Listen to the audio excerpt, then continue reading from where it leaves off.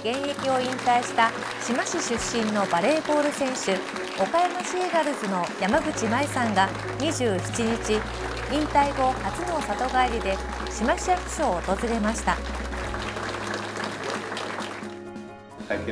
山口舞さんは2002年 V リーグの岡山シーガルズに入り2013年からキャプテンを務めチームの中心として18年間活躍してきました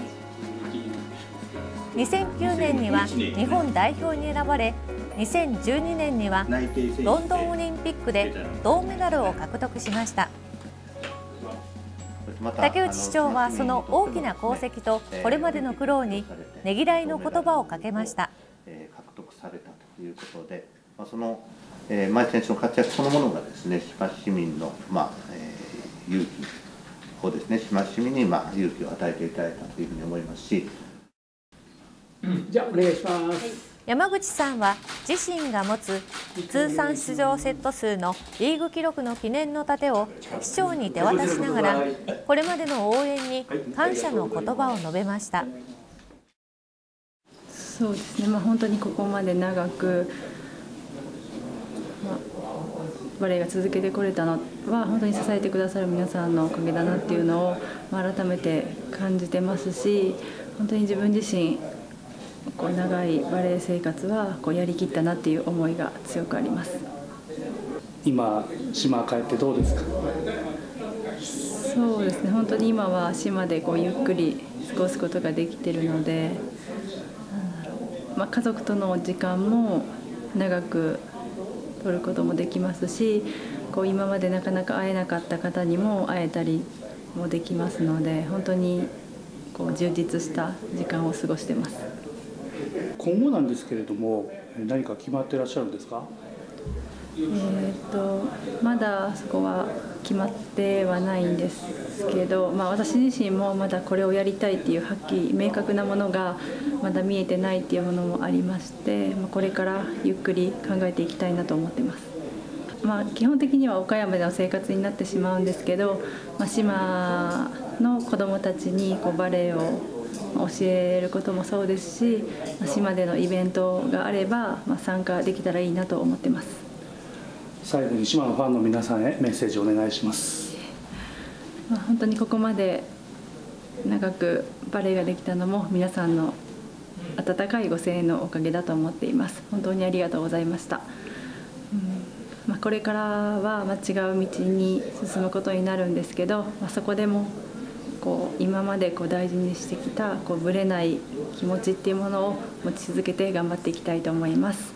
ありがとうございました。皆さんこんにちは。司会の柴山かな子です。それでは6月16日からの島の国チャンネル今回のラインナップです。暮らしの情報コーナーは島市学生スポーツと合宿誘致補助金などについて地方創生のコーナーは介護予防ボランティアポイント制度についてお送りします。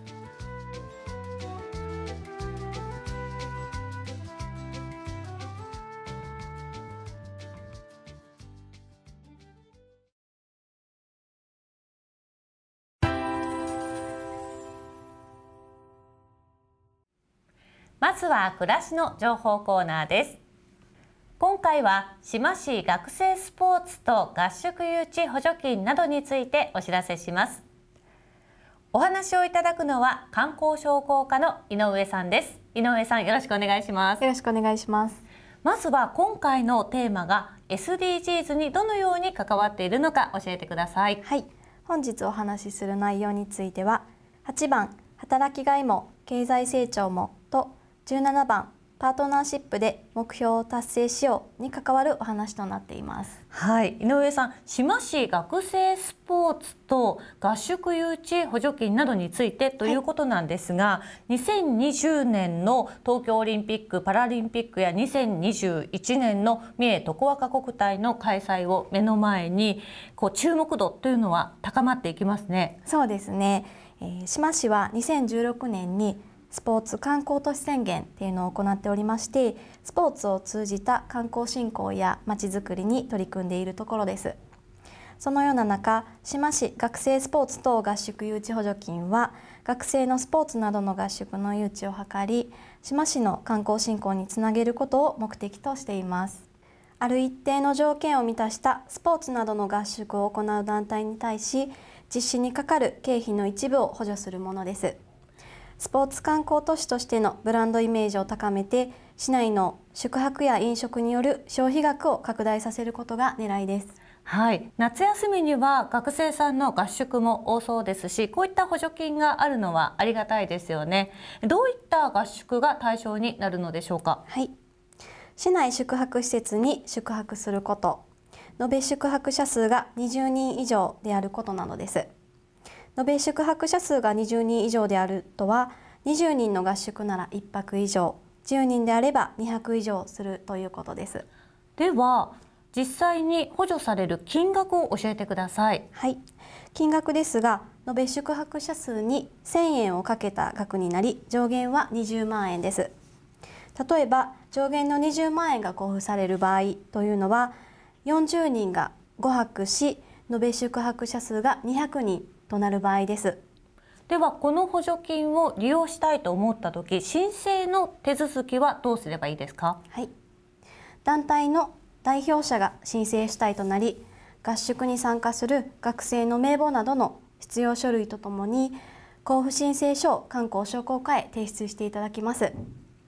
申請書をはじめ必要な様式のデータや補助金の概要は志摩市のホームページからご覧いただけます。はい、現状志摩市で合宿を行っている学生さんというのはどのくらいあるんですか？はい、関西圏や中部圏から約40の大学と高校から主にスポーツの合宿で来ていただいております。約40の大学や高校が利用されているんですね。こちらの補助金は今年度から始まったと伺ったんですが。はい。そうなんです多くの学生が志摩市を訪れておりますのでこの補助事業を実施することで大学をはじめとするスポーツなどの合宿誘致をさらに加速させて小規模な宿泊施設の利用促進にもつなげていきたいと考えています。なるほど。また補助金を交付することによってどういったエリアからどういった目的でどのような団体が志摩市を訪れているかを分析して次年度以降の学生団体の誘客の取り組みにも活用していきたいと考えています。はい、自然も豊かですし合宿には志摩市ぴったりの場所ですよね。はい。他にどういった補助金がありますか？はい。学生スポーツ等合宿誘致補助金は新たに始まった事業ですが、宿泊施設バリアフリー化改修事業補助金外国人観光客おもてなし推進事業補助金も引き続き実施していますバリアフリー化改修事業補助金は昨年度から始まった事業で宿泊施設のバリアフリー改修にかかる経費の一部を補助するものです。申請には講習会の受講が必須となり今年度は7月上旬に開催するため申請をお考えの方はご参加ください。また観光施設宿泊施設での外国人観光客の受け入れ体制を整備するための外国人観光客おもてなし推進事業補助金はこれまでパンフレットホームページメニュー等の多言語化 w i f i 整備などに活用されています。実際に補助金を活用された方にお話を伺っていますのでこちらをご覧ください。最近ねインバウンドかあの外国の方が多いんであのやっぱり外国のパンフレットもいるねということであの作らせてもらったんやけど結構自分たちでどうやって作っていいか分からへんしね。補助金でまた皆さんに相談したらいいっちゅうので作らせてもらいました。やっぱり自分たちのね語学力を上げにはいかんということでもうそういうふうなねあのスピードなんとかいうやつをちょっとあの勉強させてもとるんやけどやっぱりパンフレットも大事やけどこれからはお客様と直に話ができるだけの語学力ですね、えー、今回補助金を使って、えー、ゲストハウスのハウスルールを英語にして外国人の人に分かりやすく、えー、説明ししたり、えー、あとはパンフレットをあの英語で作って外国人の方でも、えー、泊まりに来れるようなものを作成したり、えー、あとはホームページを英語化に対応してえー、いろんな人に見てもらおうというので使わせていただきました。宿をやる時にすごくお金がかかっちゃうのでちょっとでもこう市から補助があると本当にあのやりやすくてあのもっとこういうことやろうとか自分で出すんだったらなかなかできないけど補助金がもらえるんだったらもっとこうよりよくお客さんによりよくこう宿を使ってもらうためにより良いものを作っていこうとかなんかそういうのを、えー、自分らでアイデアを出し合ってできたので補助金があってすごく良かったなと思います。この施設はあの1泊1組で貸し切りの宿なんですけど、えー、外国人の方も、えー、結構ファミリーで、えー、来られるお客さんも多いので、まあ、そういう外国人の家族連れがこの日本の家に泊まって貸し切りでこう思い出の、まあ、場所として、え、楽しんでもらえるような空間にしたいなと思ってます。こんな風に補助金が活用されているのはいいことですね。はい。今年度も引き続き交付を行っておりますのでぜひご活用ください。他にも補助メニューがいくつかありますので詳しくは観光商工課までお問い合わせください。はい、いろいろな補助金がありますからこれらの補助金をうまく活用していただきたいですね。はい。いろいろな補助金がありますが今回ご紹介した志摩市学生スポーツ等合宿誘致補助金は予算に達した時点で募集を終了しますのでお早めにお問い合わせください。はい。お考えの方は早めにお問い合わせいただきたいということです。では最後に市民の皆さんに一言お願いします。はい。合宿を通じ学生の皆さんに志摩市の素晴らしい自然環境や豊かな食、歴史、伝統文化などを知っていただくきっかけになればと思っています。また市内の合宿を受け入れされている宿泊施設の皆様もこの補助金についてご理解いただき周知のご協力をお願いいたします。今回は井上さんにお話を伺いました。ありがとうございました。ありがとうございました。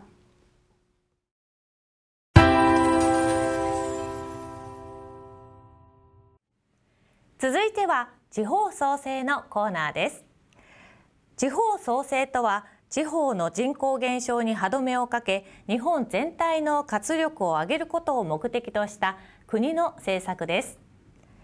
志摩市では人を育て今ある産業を強化し新たなビジネスを起こしながら町を作りさらなる人の育成や人材確保につなげていくという町人仕事の循環を起こすことで志摩市の地方創生の目的達成を目指しています。このコーナーでは地方創生に関わるさまざまな事業をご紹介していきます。今回は介護予防ボランティアポイント制度について介護総合相談支援課の山形さんにお話を伺います。山形さんよろしくお願いします。よろしくお願いします。ではまず今回のテーマが SDGs にどのように関わっているのか教えてください。はい。